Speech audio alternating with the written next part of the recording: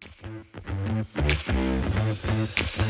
right, what's up, guys? We are back with another podcast episode. This week, we're going to be talking about some Proton updates and X40 sale that is probably only going on today, maybe tomorrow, uh, recapping MLP. And then we also want to talk about if spin should actually be uncapped in pickleball. That's some people have been talking about lately. And I don't know. I have some thoughts on that that we should go over. But, anyways, let's start with this. So, first, thank you to everyone who bought a Melin hat. Yes. Uh, because Melin emailed me the day after and told me how many hats you guys bought.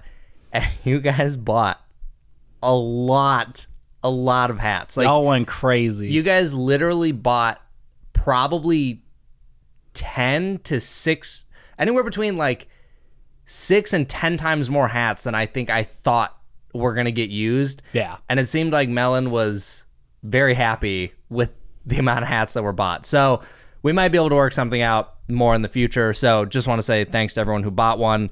And also, if this is the first time you've owned one, one thing that I forget about is that when they're new, the hats are actually pretty stiff.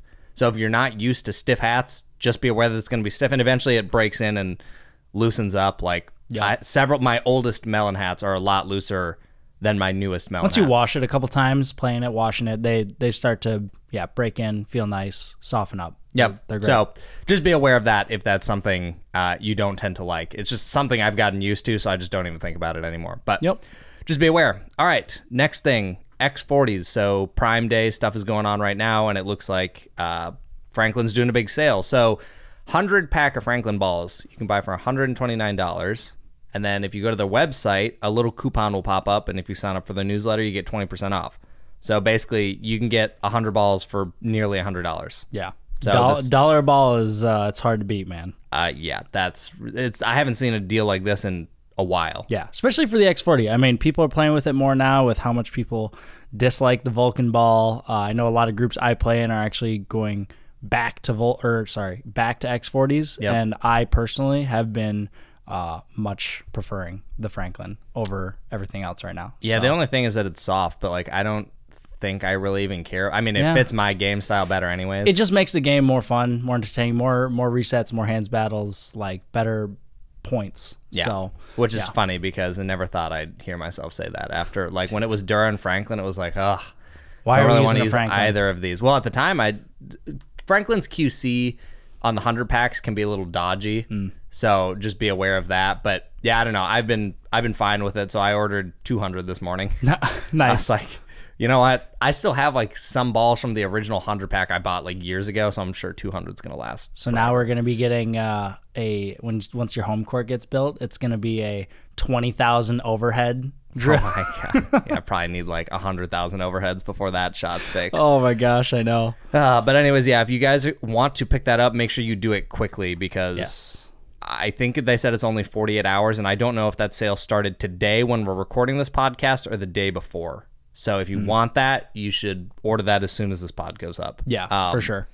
Okay, so we're actually re recording this section of the podcast because originally, when we recorded this, Charles had not responded to my email. And then, as I was exporting this podcast, I got a response uh, with from his email. And in the spirit of fairness, I wanted to include that because I think it would be unfair to not include his response given what we talked about uh, earlier. So, all right, here this goes. So, first, I'm going to I'll read his response and then I'll kind of go into uh, my original email a little bit. So he says, Chris, since September of last year, we have many athletes, both professional and amateur, competing in APP, USAP, PPA, and MLP. And until the event last weekend, which would be APP Newport, we have not had a Series 1 paddle fail on site testing. This is something we are b- very proud of, also considering many of these athletes were able to use their same Series 1 paddle across multiple tournaments for months. Now, one thing I want to address here, and we'll get into it more as I talk about what I emailed him with my questions, but on site testing for APP consists of a grit check, which is a Starrett. So that's useless on a proton because there is no grit, it's smooth. Then there is also a core, uh, like corruption test, which is kind of like this ultrasonic scanner, which checks if the core has any failures. That's it.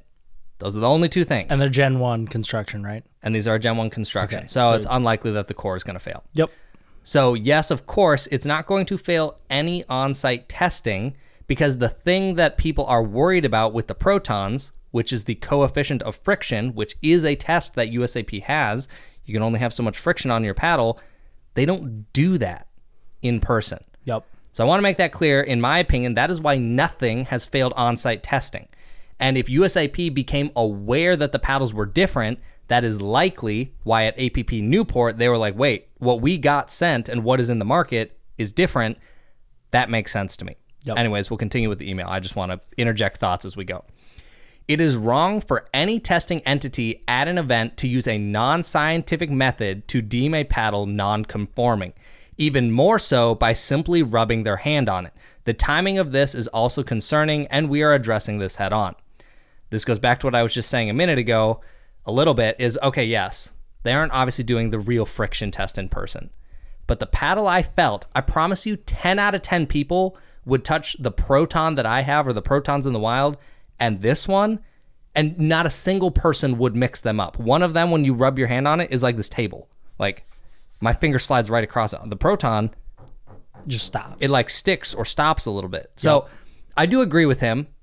You should be doing like a more scientific test, but given that it's so obvious that one is like smooth as glass with no friction and the other one actually has friction and resistance on it, it doesn't take a rocket scientist to like figure out, okay, these are probably different.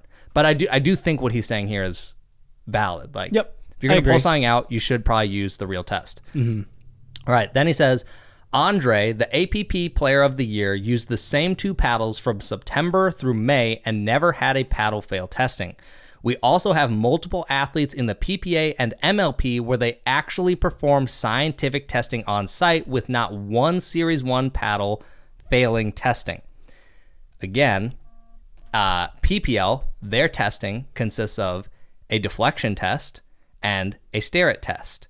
Neither of which are going to Fail friction. exactly. So again, that makes sense, and it's a Gen One construction, so it makes sense why it wouldn't fail those tests because it's not really testing for the thing that the proton is built. Yeah. like what makes it so great. Right. So that part kind of mute point to me. Next, we have our own internal lab, or sorry, we have our own internal testing lab, have acquired testing paid for by accredited labs, as well as the testing performed by independent paddle reviewers like yourself, all confirming that our RPM and exit velocity are similar to other high performance paddles with no unusual outcome or significant differentiation aside from the fact that our spin and performance will last for much longer without degradation found common with most paddles on the market today. Here's what I want to say about this. First, he doesn't name the accredited labs. Yep. But I already know he's talking about Pickle Pro Labs because he mentioned that in the Pickleball Central video, which if you guys listen to this podcast, you probably haven't gotten to that part of the podcast yet, but we'll come back to that. He doesn't mention if USAP is one of those. And then he says our RPM and exit velocity, which are not things that currently are being tested for. Yes, USAP announced a new test, and maybe some of the manufacturers have that data, but it's not something like public. Mm-hmm. And there is no RPM test. Right. USAP is a friction test and a grit test. PPL, to my knowledge, is only a grit test, and I know they're working on other tests in the future. Mm-hmm. So again, these things right here don't matter because it's not testing the thing that the proton gets its spin from. Right. Then he said, We are proud of our engineering, bringing new and innovative technologies to the market for the overall benefit of the players, wanting them to get good, long lasting value out of their paddle purchase. I hope you find that same enjoyment out of the paddles you just received and are impressed with the way we built them. I am still eager to have a conversation with you at some point and will get into each of these questions you have asked. I hope soon to get on the positive side of your podcast after we able to after we are able to prove out our dedication to the players and commitment to better technology for the sport. Looking forward to your feedback on the new paddles. I can assure you they were built maximizing the allowable compliance thresholds while maintaining those levels for a long term long time, providing great value to the players that buy them. And then that concludes the email. I just have so many things I want to go over in this. Um, first, one thing he says right here I am still eager to have a conversation with you at some point, and we'll get into each of the questions you have asked. So I don't know if he's addressing right here, like, hey, we will talk about the questions you asked, but I'm not going to put them in an email. In which case, I'm like, okay, but why? My questions are pretty black and white, and I'll read those right now. My questions in the original email were one, in Texas, you mentioned you have gone through five or maybe seven different versions of the protons with small tweaks. Have all of these variations been submitted to USAP? Two, back quite, back quite some time ago, there was another brand that focused on spin via friction rather than grit. Their paddle was actually over the legal friction limit and got pulled quietly from USAP and then had to be updated to be put back in spec with USAP's coefficient of friction guideline. This paddle got much less spin after the update, and the original one with more friction was substantially less tacky than the current Protons. So, my question would be if my paddle or any Proton Series 1 were submitted for friction testing, would they pass right now? I'm trying to understand in my head how these could possibly have how these could have substantially more friction than the paddle I was talking about and still pass. I assume there may be something I am missing as a potential reason. Okay, those are my questions. Does it sound like a single one of those was answered in that email? Not a single one. Nothing. Nothing was addressed. And to your point, those are pretty clear, easy black and white questions. Yes. And this is a pretty long response, dodging all of those. Yes. I it just feels so clear to me. Like the first question, have you submitted all of the different iterations to USAP? Literally, yes or no. Yes or no? That's it. And then as far as the friction one, like sure, he cannot answer if my personal paddle will fail a friction test, right? Like Right. There's a lot of things that could vary, so I understand that you can't stamp a guarantee on it, but if you believe in the technology you're using, your answer would probably be yes, our proton paddles are within the friction limit. Mm-hmm. And I just don't understand. Like, I guess we'll go over this now because I'll probably just replace the entire section where we talked about Proton. I actually had followed up with a third question because he did a Pickleball Central interview. And the long story short is there is a test, the Starrett test, which is the grit checker for these paddles. What the Starrett does is it drags a little needle across the face and it measures how high the peaks and valleys are. And then it tells you like the difference between the lowest and highest point or whatever. So the higher the number, the more gritty, the lower number, the more smooth it is. Yep. And for USAP, the limit is 30 RZ and 40 RT. You don't really need to know what RZ and RT stand for. You just need to know 30 and 40. Yep. In this Pickleball Central interview, he says our paddles test at 47.4 as tested by Pickle Pro Labs. And he's very proud of that, which is cool, but Pickle Pro Labs only tests for pros at PPA and MLP. So it's useless for you and me. Mm-hmm. And that would be almost 20% over the legal limit for USAP. USAP. So when I first heard this, I was like, did they literally just say basically our paddles aren't legal for USAP? 20% over the limit. Yeah, like nearly. So, and he didn't address that at all in this email when I asked about it. So, to me, again, these questions are pretty black and white. Like, let me go, let me scroll up to this email and just see what I asked when I asked about the Series 3, just to be fair. Um, I said, in this video around the 420 mark, you talk about having the roughest raw carbon fiber paddle on the market. You cite that it comes in at 47.4 RT and that it was done by Pickle Pro Labs. Pickle Pro testing, Pickle Pro Labs testing is only used for pro events, PPA and MLP events, and does not apply to the amateurs. USAP uses a different limit for their rules, and the limit is 30 RZ and 40 RT, which would make the Series 3 almost 20% over the legal limit. That would make the Series 3 not legal for amateur use for any USAP sanctioned event. I wanted to follow up with what you knew about this because that makes the paddles a bit problematic for the market.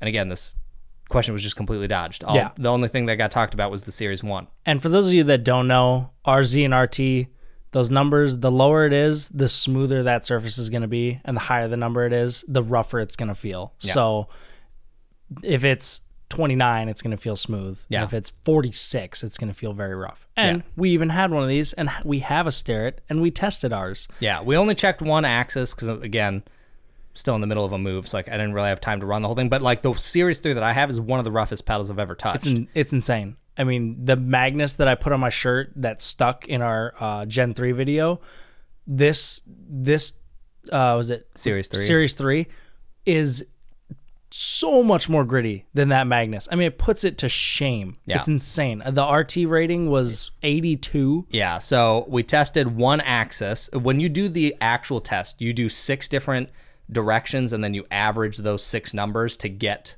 the final number. Yeah. And I only ran one number because it was just in my kitchen and I was like, well, let's just see what it is. And in that one axis, we got 82 for RT and Which like is double the legal limit, over double. over double the legal limit, and then 54 for RZ. Yeah.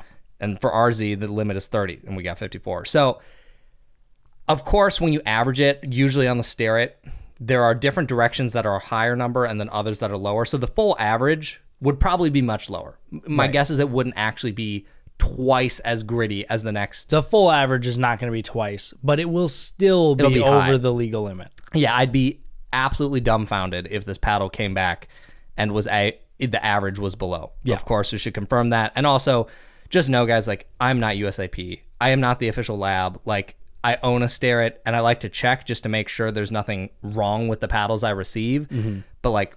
I'm not the official body. So like I can't say, oh, all these series three are illegal and like some paddles are rougher than others. But the one that I have, that I've never seen a number that high. I've Right. tested a But lot of paddles. Also, very handy for us to have that device and test these things because if we didn't and we tested this paddle and said, "Hey guys, this paddle gets 2,700 RPM. It's amazing. It's the highest spinning pedal we've ever gotten." And then you order one as a consumer, and now you're getting 1,900 because you got a dud or maybe a legal one. Yeah. And then now it, you're you know sending us comments saying oh you guys lied this doesn't get that good a spin it's blah blah blah this and that like so yes we're not an official testing lab but it's still very useful for us to get these numbers and test these pedals because I mean, really, yeah.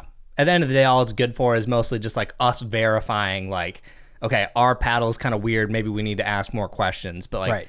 we can't do the test and then say like, oh yeah, all of these are illegal. Exactly. Like, that's not how that works. yep So, I don't know, guys. Like, I have a lot of questions about these protons. Like, hopefully, Charles and I can have a conversation and get to the bottom of this. But given all of the things that are weird right now, APP, who uses USAP as their testing, is pulling paddles out of ProPlay. yep They were out of stock for five months. These surfaces are more tacky than anything that's currently on the market. And the only other paddle that I know was similar to this had a recall because it was too tacky. Mm-hmm. So, like, history is telling me someone has already tried this, it didn't work, or it was over the legal limit. So, I just that followed by like, you know, Proton loves to build up their paddles by bashing everyone else and saying, like, our paddles are great because those guys suck. Yeah. Like their carbon fiber's cheap. We use great carbon fiber.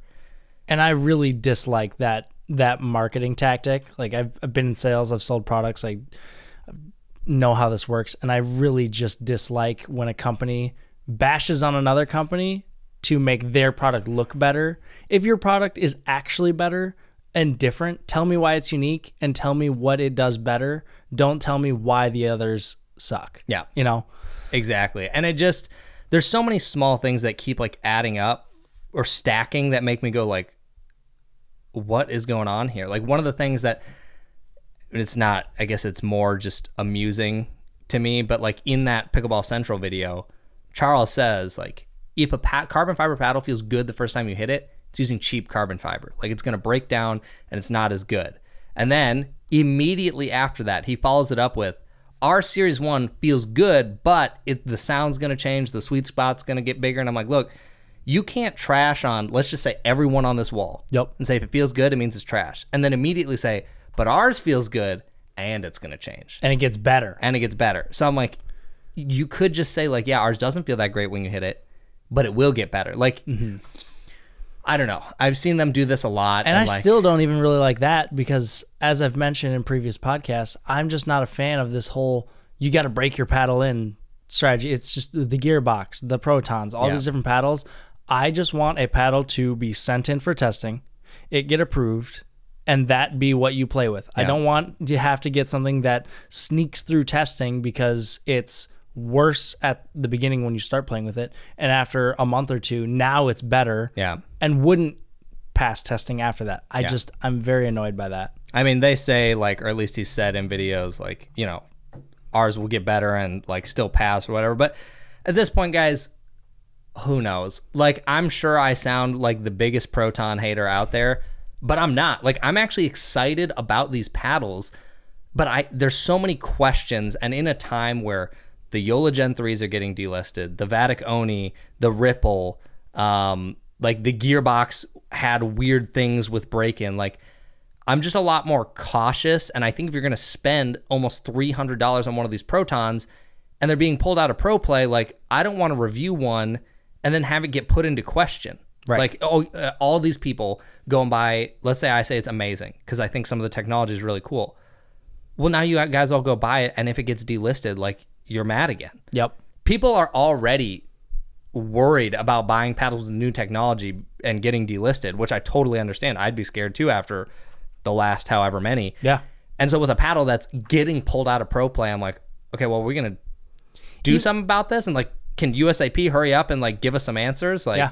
Even paddles that aren't necessarily using new and different technology. Look at our last review on the uh, 6.0 14 millimeter paddles, the Black Diamond, the Ruby. There were people in that comment section saying, "Oh, I don't want to buy this because I don't know if it's going to get banned," and that's using older technology. yeah, like it's stuff that isn't. There should be zero worried about Zero concern of it getting banned or delisted, and people are still concerned about just because it's a new release. Yeah. and they're like, "Oh, I want to wait a few months and just see." Yeah. you know. So, especially with Proton, and again, I'm with Christopher. I don't hate Proton. I actually like some of what they're doing. I just want them to fall within all the regulations. Yeah. and And the thing is, we don't like.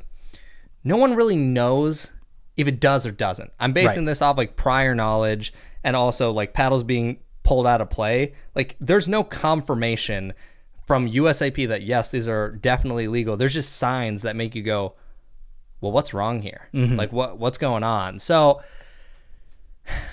I don't know.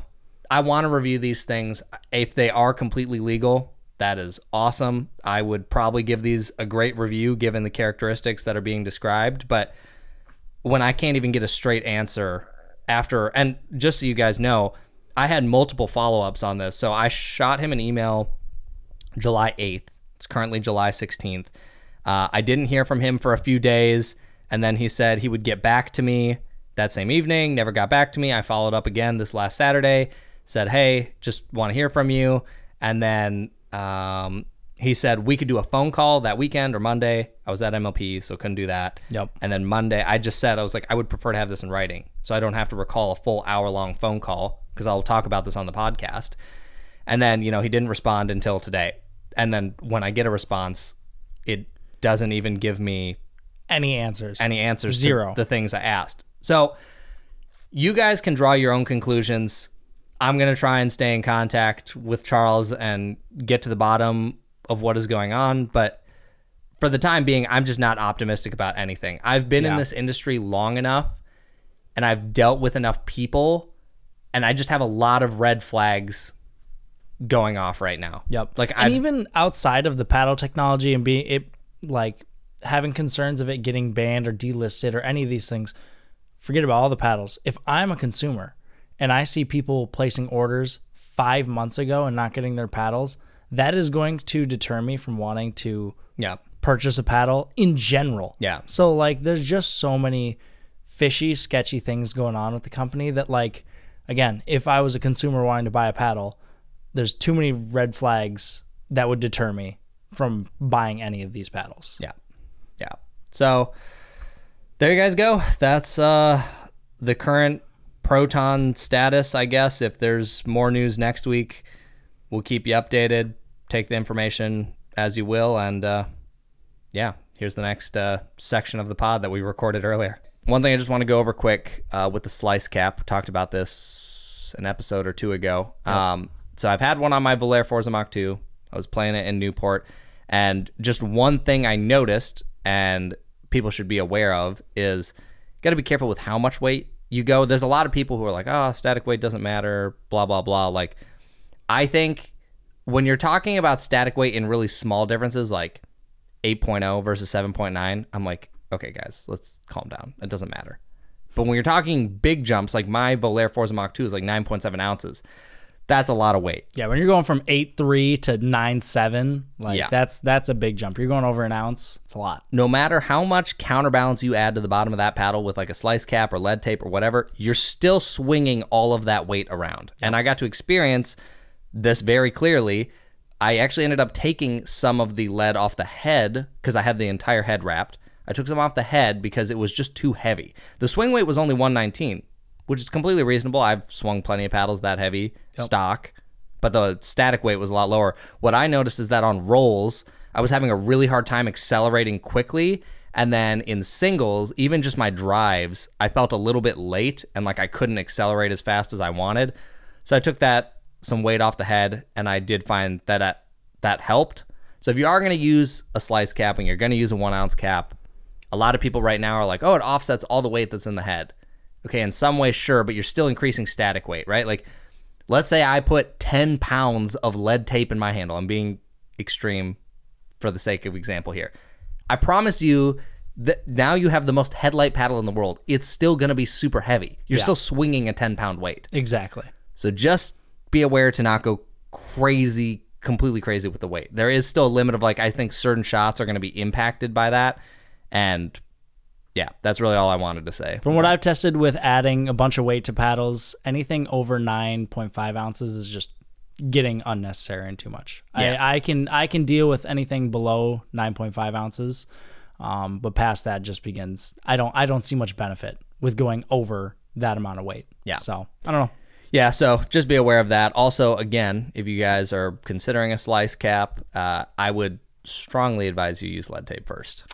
Yes. Like just wrap wrap some lead in the handle and see if you actually even care about adding weight to your butt because these things are expensive. They're like 30 bucks. And if you don't know that you like it, like you can try this at home. I do think that the Slyce cap is a more permanent solution is a little bit nicer and I again, I like how it flares out. It feels good in my hand. Not everyone's going to like that. I know you don't really. That's where we we are opposites. I was just about to mention that. I'm actually very picky about the butt caps on my paddles. I've actually held a brand new paddle that I was going to play with, and the butt cap fell off, and I grabbed another fresh one because I didn't want to play with it because of how it felt. Yeah. Um, I don't like how much. I like that it's symmetrical, but I just don't like how much it flares. It's too big in my hands. Yeah. So it feels like it constricts me from certain grips. See, I like that because like it just feels so like locked into my palm. It's like it sits here and just like locks in. Yeah, too chunky. Reminds me of how Patrick wraps his grips. 16 over grips. Like, it's too much. Yeah, our other brother's insane. So yeah. Anyways, I just wanted to say that uh, the Slyce cap's not going to be for everyone. I like it, but you can totally add lead tape, guys. You don't have to buy this cap to do it. I just think it's potentially a good permanent solution if that's something you're like into. Yeah, totally. Cool.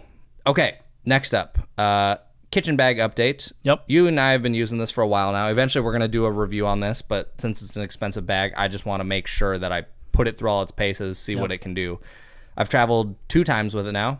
Traveled to APP Newport, and that was the only bag I used at the tournament, so much smaller than I'm used to. Mm-hmm. And then when we went to Michigan for MLP, I also took the bag. Yeah. And so far, it's holding up really well. I mean, the like I haven't really had any issues. It is. Sometimes I wish I had just a little bit more space. like again, sure. if it had like two more inches out the back, it would I think hold just a little bit more. But I've been able to make it work. Tournament days were super comfortable. The straps are nice. Like I had that bag stuffed. Like I could not add more to it. Yeah. And then, uh, jeez Louise. there he goes. All right, there he goes. Anyways, um, yeah, I could not have added any more to it, and it still felt good on my back. Sometimes I'm like, man, if I had just a little bit more storage, it might be nice. But I think when you're looking at this bag, you have to decide like what you want to use it for, because I think use different bags for different things. It's kind of like camera bags. Yeah. There's like an everyday bag, and then there's like I'm gonna go film a wedding, and now I need a giant bag that holds everything. Yep. And I feel like this is the KTCHN bag is more of an everyday bag as you can use for a tournament. But if you hold a lot of stuff, like if you're used to like a six zero bag that holds a ton, this bag just doesn't hold as It's much. it's yeah, it's a different it's a different travel dynamic for sure. Um, I think it's amazing for going to practice sessions, drill sessions, stuff like that. Anything locally, fantastic. And for me, because I don't pack a ton, like I said, I traveled with it now once to MLP. Um, and it worked out great. Like I think I carried four paddles with me, a water bottle on the side. It fit perfectly in my overhead um, bin. Oh uh, yeah, I should mention that. I did put mine in the overhead bin every time I flew. I did put it under the seat when I got on the plane just to see how it would fit, and the bag fits, but you obviously lose leg room and it does poke out just a little bit, but it does fit down there. Yeah. But for me, comfortably, I would rather just put it in an overhead bin and Yep. have the legroom. It's easier to just put it over top. I had a duffel bag for all my clothes and stuff, went under the seat, worked out great. Um, and yeah, the weather resistance is fantastic. I while I was at MLP, I had a drink, uh, a tea, and I put it in the bottle compartment, and I didn't realize that there's still a little bit left in the bottom, and it spilled all over the side of the bag when we got in the car, and uh, just wa- wiped it down with a little rag with some water, and it's perfectly fine. So Yeah. I think the durability of this bag is great. The size is good for me. Like it's just big enough for me to be able to travel comfortably with it. If it was any smaller, it'd be Yeah. a little too tight. There's no way. But I would, I would like just a little bit more space. Yeah. Um, but how it is, it definitely can work for Yeah. traveling. So so far, still liking the bag. Still gonna keep using it. Probably, I'd imagine I might try it for like another month before I do a full review on it, just see if anything breaks down. The only thing that broke on the bag, and I believe this is addressed for all future models going forward, is uh, there's like a pull tab so you can like do the zipper. The zipper did not break, but the pull tab that pulls the zipper did rip. And I messaged him about it, and I think he said all of the future ones have a more durable pull tab, and he sent me some new ones, and it does feel a little bit more rugged. So Yep. I'll test those those out and let you That guys know. that has definitely been the one concern of mine is I I do feel like sometimes I try to baby the zipper tabs because they are very thin. Um, but yeah, if that's if that uh, issue is being addressed, then it's uh, it's fine. and I'm sure he'd send you new ones. Like the new ones he sent me, like it. So it took like five seconds to put it on, Yep. and it's fine. So, anyways, that's thoughts on traveling with the KTCHN bag so far. Still it's good. Still enjoying it. The sunglasses case is one of my favorite parts. Like I lose sunglasses like crazy. Yeah. I can fit two pairs of sunglasses in there, and it's it's nice having a very dedicated spot for that. yeah. And I've ran into two people now who had them just like out in public. I have one person at Newport and then one person at uh, at MLP. MLP. So, Nice. That was cool. Okay, that was some of the news. Uh, the main topic we wanted to talk about this week, I guess I can just move this over here, is should we uncap spin in pickleball? So people have been talking about this lately, and it's kind of weird to me how this topic came up because I feel like people only started talking about this when there was talks about power being capped, and then everyone felt like, okay, well if power's capped, we have to change something else which I don't really understand because I I kind of feel like spin outside of longevity mm-hmm. in paddles is pretty good right now. Like if you have like a high tier paddle, like I'm not going, man. I just really wish I could spin the ball more. Mm-hmm. It would be cool, Right.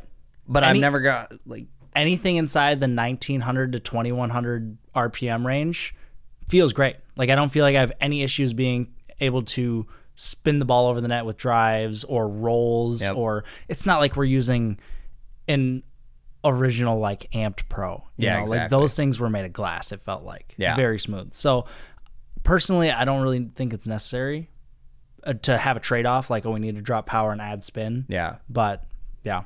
I, I will say there's some interesting arguments that we'll go over. And again, I'm not really for this one way or another. Like, if we did it, I'm open to trying it.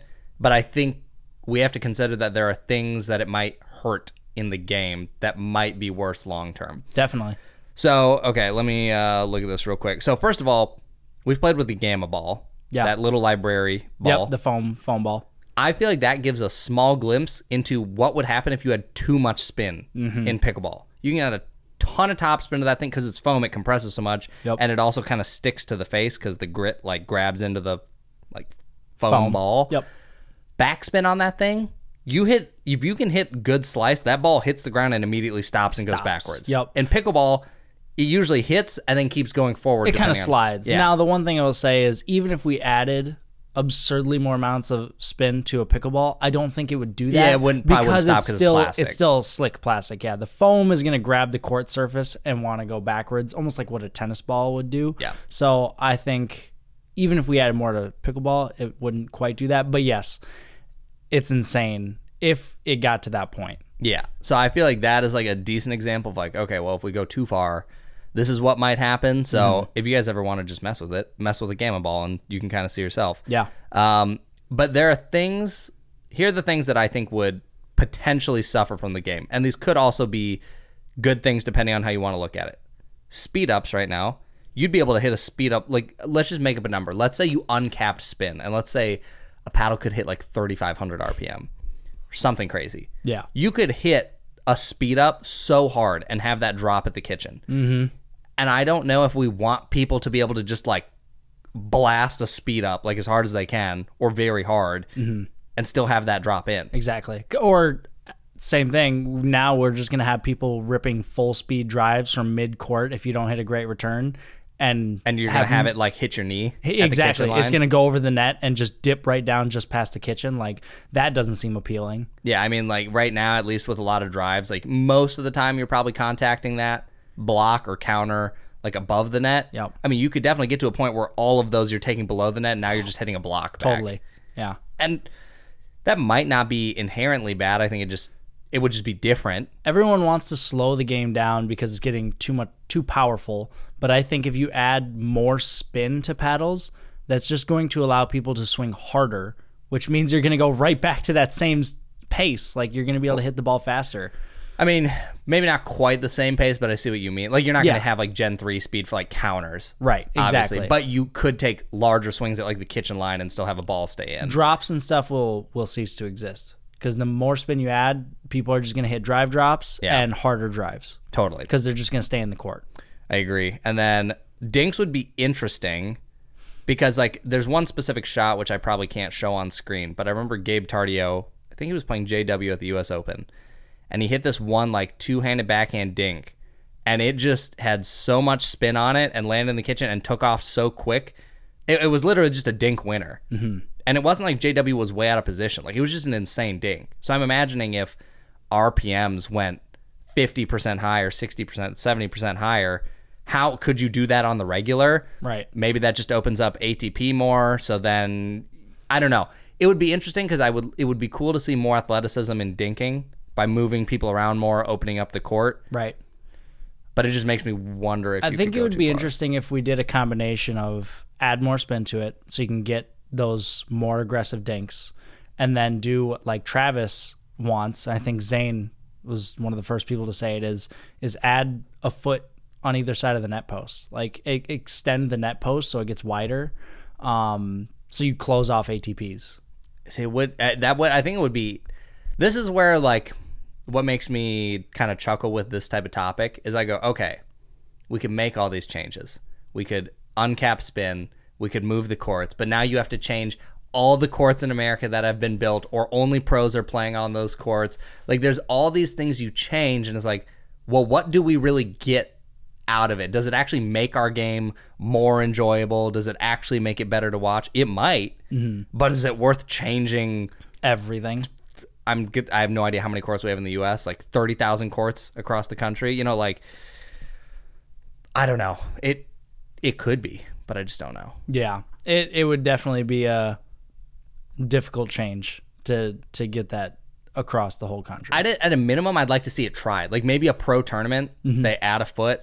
Yeah. Maybe paddles were uncapped, and it's like, well, let's just see what happens, and then maybe we decide from there if that would be good for the rest of pickleball. Yeah, I would definitely be interested in just seeing it tested somewhere. Have some pros playing a court where they get more spin with paddles, and uh, I don't know, maybe throw some pine tar on some paddles. Oh my gosh. and the other thing too that I think would probably, I think this is the thing that would break the most. Singles, I think, is just over. yep, I 100% agree. You go 3,000 RPM, it's over. I mean, passing shots are already insane in pickleball right now. so hard to get to. I think if you cap, uncap that spin even more, you can hit, you know, these weird hybrid drive drops that are a laser to the corner Mm-hmm. in the kitchen, and the, the people just aren't going to get to it. Look at when people try to return to Ben's backhand or Jack Sock's backhand. They're going to run around it, and they're either going to rip a drive down the line or they're going to hit a forehand topspin drop to Yep. the right corner. Yep. Which, at the pace we already play at and the spin we already have, may, that shot is extremely difficult to get to. Yeah. You're not going to earn it. You're not going to hit it. Out, you're not going to volley it. You have to let it bounce.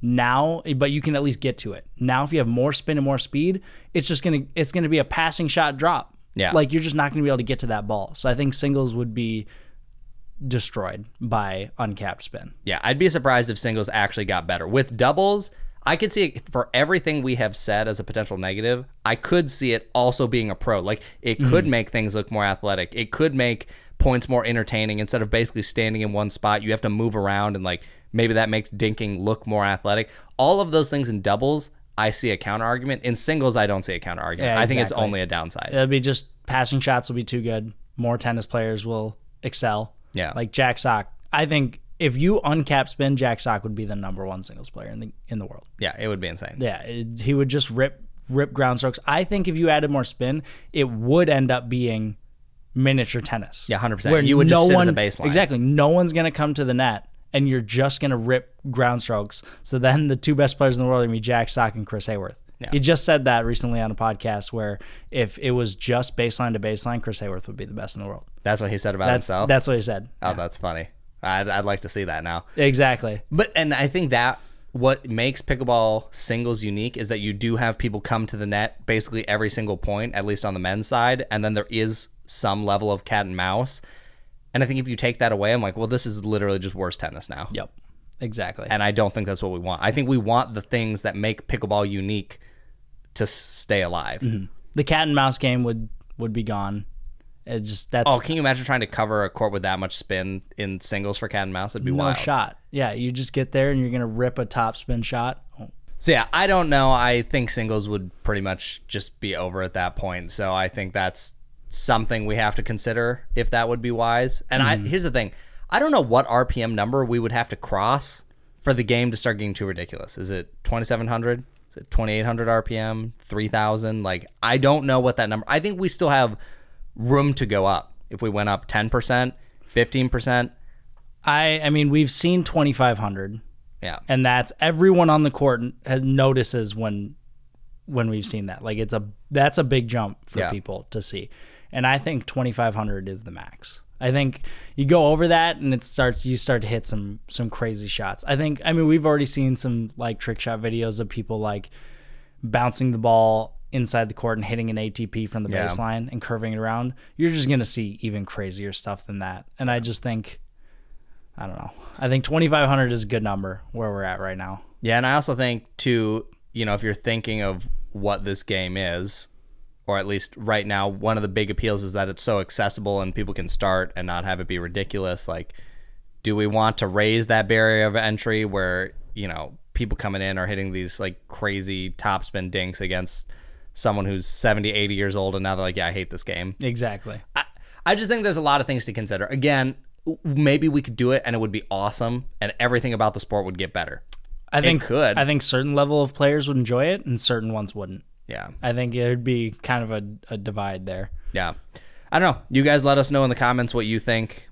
And I'd be curious to know if the general like opinion is yeah, we should uncap it, or if people are like, ah, yeah, let's not go too crazy.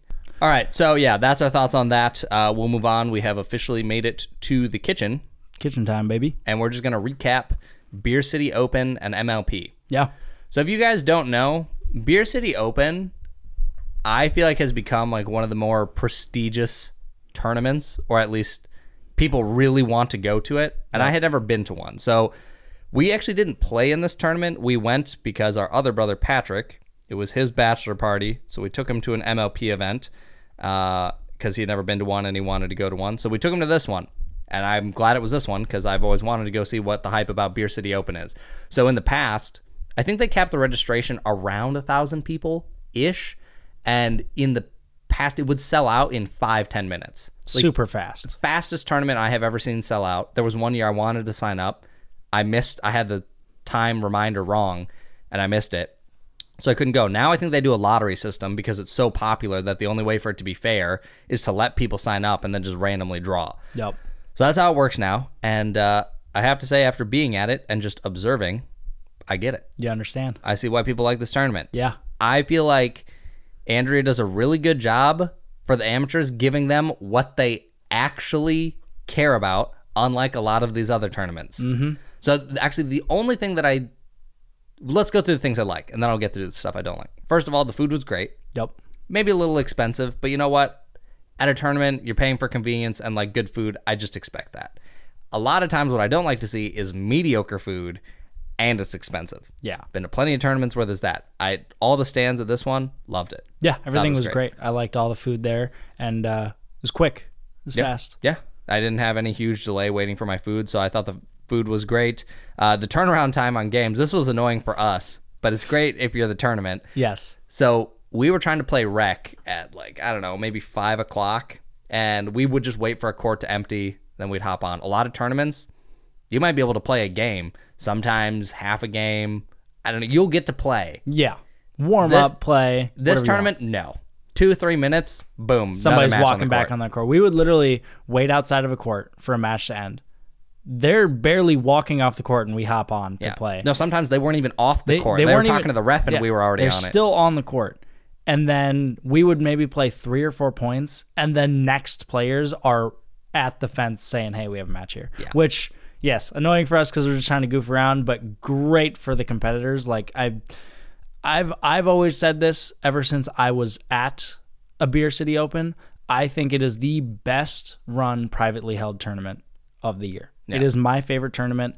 Andrea Koop does an amazing job, and I'm sorry I'm blanking out on the the other person she works with who who does a lot of Yeah. um, setting it I up. think he it sounds like he helps probably during the tournament. Yes. And Andrew does a lot of the back end before the tournament or the pre prep. They both do a phenomenal job running the tournament. It's like again, there's cold water buckets everywhere, constantly being refilled. Which was great because it was so hot. It was so humid and so hot there. I mean, it so necessary. But like they do such an amazing job. Everything's super smooth, very well done. Like Andrea should just run all the tournaments. Cut out all the fluff. There's no like crazy DJ and all this unnecessary like it's not we're not at a rave. We're at Yeah. a pickleball tournament. All right. Right. So I think it was it was done very, very well. Yeah, no, I, I completely agree. I think if Andrea ran or was responsible for amateur tournaments, people would be a lot happier paying the prices that they do. And the only thing that I would say at this specific location that could have been better is I think, no, I actually think there were two sets of bathrooms. I think I just never went to the other set. Mm. Do you know? Because okay, so there was the porta potties, and then I think the women had the like nicer truck. Yep. I thought I saw a sign that said there were bathrooms like on the Behind the food trucks yeah and stuff. Was I, there? I can't confirm that, but I want to say yes. Okay. Potentially my bathroom comment is not valid. There might have been other nicer or decent bathrooms, but porta potties never really great. And it's, you know, if you have to use the bathroom, If I had to be really nitpicky and complain about one thing, it's it's the parking. It's it's kind of Yeah. kind of difficult to find parking. You either have to find it somewhere in the neighborhood or you're walking quarter mile, Yeah. half mile maybe tops. So that's my biggest complaint.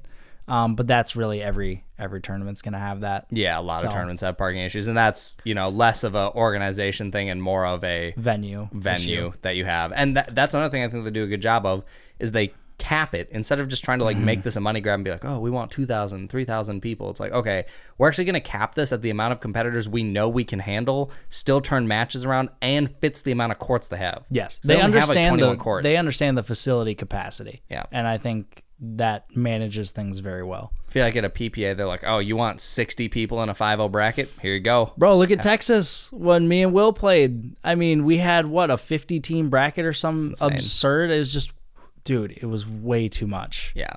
So I, again, props to Andrew. Just does an absolutely awesome job with that tournament, and I definitely want to go back For um, sure. I feel like at some point they almost might just need a new venue that has more, so they can make it bigger. Yeah. But- no, I, I love that place, and it's great too. If you're if even if you're there like us who are just there for spectating, the venue's open at night for rec play. Yep. it's a public park. They have fantastic lights. Courts are open to play. Tons of people come.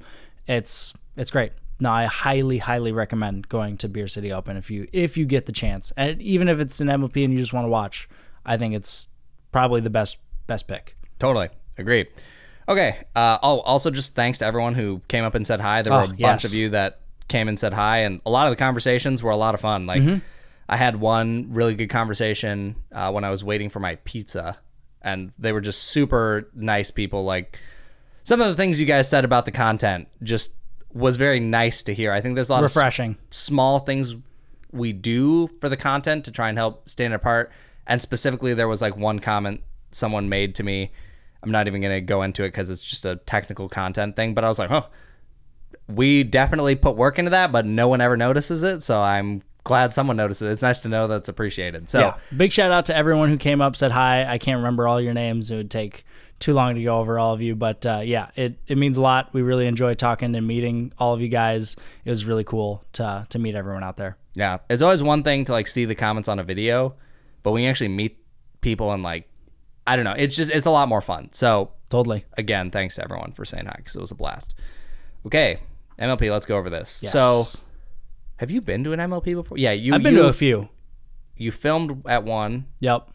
Which other ones have you been to?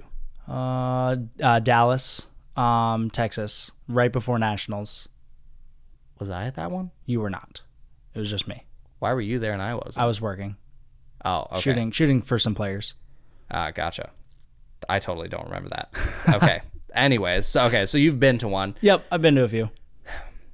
So here's MLP is interesting because I've gotten to a point recently where when it's been online, unless it's the final, I just don't care to watch. Yeah. Especially with the format they've been doing where it's points throughout the season and there's mm-hmm. no like build up to a championship Sunday like, oh, you know, this team is facing off this team in the final and you're like, "Oh yeah, I want to watch that." Now it's like, "Oh, okay, this team got 3 points this You, tournament." you played so and so, and there's no end result. Yeah, so I just haven't cared about it at all this year. But MLP in person is a completely different thing. Way different. Way more entertaining in person to watch than it is online. Like again, the speed of these players in person is extremely impressive. Like it's a lot of fun. Mm-hmm. But I will still say this. I like watching it, but I definitely have an attention span for how long even in person I can watch before I'm kind of bored. Mm. Because one of the days, I think we sat and watched two full matches, which Yep. is probably that's probably anywhere between two and a half, three hours of pickleball that you're watching, maybe more, but probably not super likely. Yeah. That's too much pickleball for me to watch. I at that point I just want to play and like I my attention does start fading unless the match is really good. Then my attention is just starts to fade. Yeah, for me, I'm similar, but it just kind of depends on who I'm watching. There's Yeah. there's some players that are just always entertaining, Yeah, no matter what to watch, and there's some teams I'm more invested in. Yeah. Um, but yeah, I'm similar. Two matches, and and I'm ready to get moving. Oh, that's the other thing is like it gets uncomfortable after a while. Like you're sitting on hot benches. It was super hot out and Yeah. sunny, so that kind of does make it a little bit more difficult to sit there longer. And I do think it will help as player stories get told better or there's more just reason to care about certain players. Mm-hmm. Because I think as you get invested in that, then you're like, oh, yeah, I want to see how this matchup goes. Or as rivalries come up, you're like, oh, yeah, I definitely want to see this. Like, if you had two teams and Matt Wright was on one team and Riley Newman was, I promise you I'm watching that match. Hundred percent. And you're like, I pray they play each other in mixed and men's. Yep. So stuff like that would does make it more entertaining, and I think they need to get more of that to get people to care. Like mm-hmm. I was, I love watching James. I like watching Zane. Like there's definitely players where I'm like I'm more invested, but I also know, personally know a lot of these players, and that's completely different It- from most people. Yeah, it does change it a bit for us because we actually know these players. Yeah. But yeah, I uh, I really enjoyed watching. Uh, There was man this this tournament so many crazy tight matches. yeah. It was insane. I mean, there was a, a score record broken. I think it was 40, 38. 40 38, which is absurd. Do you remember what? Uh, was that a mixed match? I think it was a mixed match. Yeah. Yes, I can't remember the teams exactly. I know it was. I think it was Hustlers and the Squeeze. I think we didn't actually get to see that match. in Yeah, we just saw we just saw it announced on Instagram. Yeah, but that's insane. But yeah, it's crazy. Like Like that match was probably fun to watch. yeah, there was so many super entertaining matches. Like I always really enjoy watching the Flash. They had a really, really good tight match. Um, DC is probably my favorite team. I really enjoy watching them. Yep, DC is really good. Yeah, Um, so, anyways, fun to watch in person. The we did sit through the entire final because you know we're like, okay, well, we're gonna watch this whole thing. It's the final. So it was the fives versus DC. So on the fives, you have Anna Leigh Waters, Mari Humberg, Will Howells, Zane Navratil. On DC, you have Dekel Bar, James Ignatowich, Vivian Glozman, and Rachel Rohrbacher. Mm-hmm. And it it was a good match pretty much the entire way through. I think there was only one match that wasn't clo- close, and that was men's doubles. Uh, DC won 25-15, which is a big margin. yep. And actually, let's real quick before we get into this too much. I just want to rewind a second and go back to the semifinals. okay. with DC and Shock. Do you remember that? Oh man, I'm having a hard time remembering that one. So DC and Shock Yep. was a super close match. I can't remember which uh, which teams won which match, but it went to a Dream Breaker. Yeah. And this might have been the most entertaining Dream Breaker I've ever watched. It was it was amazing. Um, do you do you not remember this? You're gonna have to jog my memory. I remember it going to a Dream Breaker. I just can't remember what. And I remember it being a good match, but I just can't remember what made it so good. Yeah, so it was it was super entertaining. Um, James was playing against Gabe Tardio. Yep. And he had one of the most Oh, yeah, that- insane points I've ever seen in my life. Yeah, that get I was mean, insane. That get was wild. Hitting it back cross court. I mean, his back was turned completely to the court. It was crazy. So that was everyone was on their feet cheering for that. It was insane. Uh, Rachel Rohrbacher was kind of getting messed up by Anna Bright, Mm-hmm. and so it was a super tight all the way. Uh, and uh, James pulls out insane points near the end. Rachel Rohrbacher ends up winning the match for them against Anna Bright. It, it was just super close, very entertaining points. Like I was super invested watching that against the semifinals, making it to the final. Everyone was so so invested. Again, it's just very entertaining. Why I I can imagine watching that online. I'd be watching it and entertained, but I wouldn't be as Yeah. invested as what was in per, in person. Yeah, I do remember some of that now because I remember thinking during that match, I was like, are they gonna put in mixed? Are they gonna do James against Anna, which is what they ended up doing? Yeah. I was like, oh boy. I, was like, I don't know if that's good. Do you bad. remember in the Dream Breaker, James, a few of those points, he would win and then just stand straight up and stare at the crowd? He, he wasn't even staring at the crowd. I think he was just staring at his team. Yeah. Hey, but it just on the. I think it was the point he won against Gabe. It looks so funny on Instagram because you just see him turn to the what looks to be the crowd and he just doesn't just- even move. Just, he just stare. stares. I, I thought that was so funny and so entertaining. Like no screaming, no cheering, no trash talk, just just stare. Yeah. And I thought that was that was awesome. It was pretty funny. So yeah, super entertaining watching them make it to the finals. Yes. Especially playing against the Shock, playing against Anna Bright. Yep. It was just super entertaining. Anyways, back to the finals. yes. So men's doubles, uh, DC wins 50, or 25-15. Yep. pretty much a blowout. And then women's doubles was 25-21 and that match was I'd love to see some of the points back because uh, DC came out firing with so many neck cords. I've literally never seen in a pro match this many neck cords. Like even both Anna Leigh and Mari were just like what are we supposed to do? At one point, Anna Leigh kissed the net. Yeah, trying to like, trying to gain some some favor points with the net. I mean, it was crazy. There were so many. and I think it wasn't even long after that, like maybe two or three points, another net cord got hit that was a winner, and it was like, oh my gosh, like Yep. that was kind of insane to see. But um, the fives do end up pulling that out 25-21. It was a close match, was pretty tense. So now it's one one, and then it was Dekel and Vivian versus Anna Leigh and Will Howells for the first mixed match, 25-22 in favor of uh, the fives Mm-hmm. and then mixed two. So DC has to win this match to go to a Dream Breaker, and they end up winning 25-23. super close. And I was like, oh my gosh. It was like, James, for the love of everything, don't choke. Please don't choke. I and like, I was getting so nervous because he, I still don't know what happened between him and Jay DeVilliers with that oh, that giant that swing. full swing speed up trying to hit James. I still don't know what's all about that, but James was hitting some speed ups that looked like that. Yeah, just yeah, he hit one. far out. He hit one that just went straight to the back wall, and uh, I was getting nervous because he was hitting hitting a lot of those speed ups out. Yeah, But- so that was super exciting to have that happen to go to a Dream Breaker. Yep. And then the Dream Breaker was probably the most dead even Dream Breaker that's probably happened in the history of MLP. yeah, split almost two full rotations. Yeah, everyone, just split. two, two, two, two. Everyone was scoring two points, and it was like the score was completely even. At 18 18 Yep. is when it was Zane and, And James. James. And you're like, okay, James, I know Dream Breakers have not been your strong suit, but please.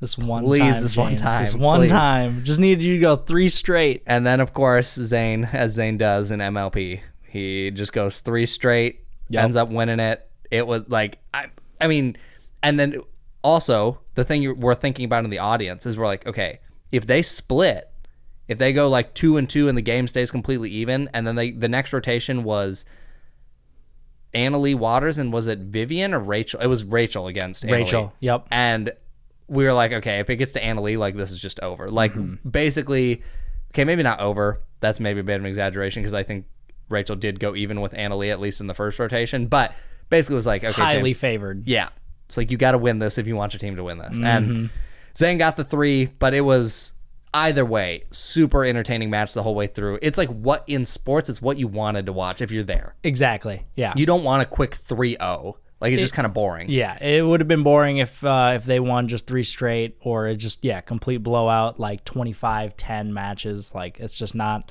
not entertaining, not fun. You lose interest very fast after a couple games. This I was on the edge of my seat the en- entire match. Yeah. I'm super entertaining. Uh, it is funny saying that because I was definitely entertained watching it, but I haven't seen the actual clip on TV, but someone sent it to me on Instagram. But they actually, so it was streamed on ESPN, I believe, and they put me on the screen of ESPN. So it had, it was just, they found me in the crowd, and then it said like Chris Olson Pickleball Studio. Yep. I look pissed in this clip. Like I just look like I don't want to be there, and I'm like, I don't know what part of the match we were in, but this is not how I felt. I was Yeah. like, I was like, of course, the one time the camera's on me, I just look like. Well, it's just, dude, it was as entertaining as it was and excited as I was to be there. It was miserable. I mean, it was so hot. hot, yeah. It was sunny, no wind, Yeah. very And humid. The crazy thing is that day was actually cloudy. The Yeah. other days were worse. It was cloudy, and then it would go in and out, and you could see every time a cloud would go away, everyone would look up and go, "No." yeah. So bit bit of a bummer, but uh, yeah, it was still even with as miserable as the weather was, very entertaining to watch. Yeah. So I, I kind of feel like MLP is really entertaining in person. Online, they still got some work to do. Like online, it just kind of looks like like a clown show almost. I don't know. It just something is off. Maybe it's I don't know if it's like a lack of professionalism or I don't know what it is really. But uh, you know what I think helps a lot. The mics online don't pick up all the trash talk. Yes, The amount of trash talk on the court is insane. it is kind of crazy. like these are things that I'm like, I've never heard these people say this. And then you're there in person, you're like, say it again. Yeah. Do it again. Yeah, Like, you get you get it's a lot more personal. Lot you get to hear a lot more when you're there versus online. You're just listening. even just the to audience like yelling stuff is Mm-hmm. funny. I really, really, really wanted. I wasn't gonna do it because I don't want to be that guy. But with the amount of net cords that were hit Oh my throughout that entire match, when James was up against Zane and they were about to serve and everyone's quiet, I really wanted to yell like, "Hit him with another net cord!" but I was like, I can't be that guy. But I Oh, thought that it would would've been really funny. That would have been really funny. So, yeah, but it was really good. I enjoyed it. Um, Beer City Open, definitely got to go again For sure. Otherwise, that's about all I got. You got anything else? Mm, no, not really. Nothing much. Just uh, yeah. If you ever get the chance, make sure try to go to Beer City. It's definitely the best turn to go to. Yeah. Cool. All right. Sweet. Well, we'll catch you guys next week. Sounds Thanks good. for listening. See ya.